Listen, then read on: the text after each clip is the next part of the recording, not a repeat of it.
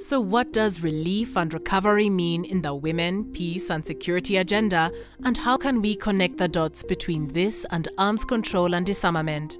Relief and recovery refers to activities that are carried out in post conflict, or post-disaster situations. The WPS agenda asserts the importance of including the voices and concerns of women and girls in those activities.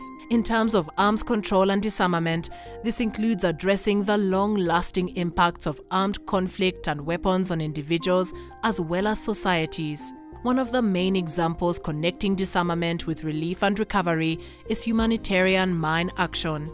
The latest action plans under the Mine Ban Convention and the Convention on Cluster Munitions encourage states to mainstream gender considerations in all activities, including clearance and destruction of landmines, risk education, and victim assistance.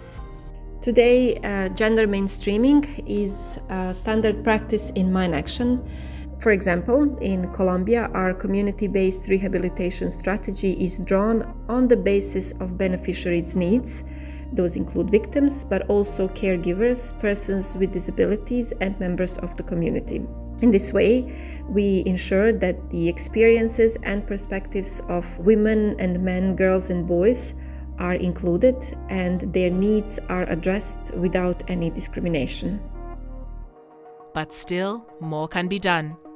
Policy actors and researchers should act to improve data collection to better understand the needs of survivors and support the integration of gender and disabilities perspectives into victim assistance. Additionally, the experience with gender-sensitive victim assistance in mine action could be expanded to protocols and agreements dealing with chemical and biological weapons. UNIDIR has conducted research on how this knowledge could feed into response and assistance activities, building back trust and ensuring everyone lives a safe and healthy life after conflict is of paramount importance.